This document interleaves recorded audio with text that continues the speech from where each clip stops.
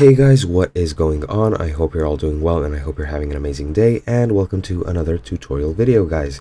In this video, what I'll be showing you how to do is how to use the green screen effect on videos in the online editing app Flixier. So let's get right into it.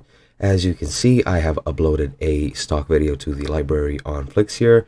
You can upload this through any way you want. You can upload it through your phone. Uh, there are a lot of options. If I just click import, you can see all of them here.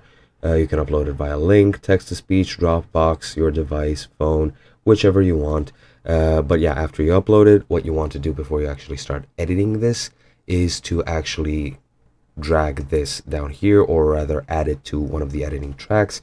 As I've showed, you can do this by dragging it down or another way is to drag it here. However, you need to center the video well and it'll be added just the same way.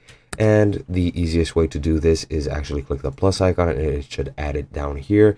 Keep in mind that it will add it uh, wherever the uh, pointer or whatever you want to call it, this slider is pointed at. So if I set it at 7 seconds, it will be placed from 7 seconds onward, like so. And yeah, just keep that in mind.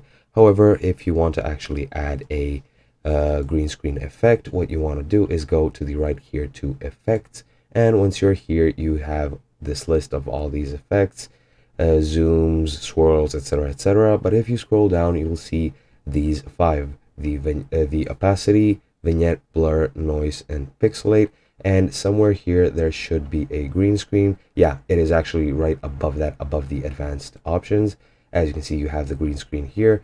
And you can choose it either to be black or whichever color of the rainbow you want. And to actually activate that effect just slide this.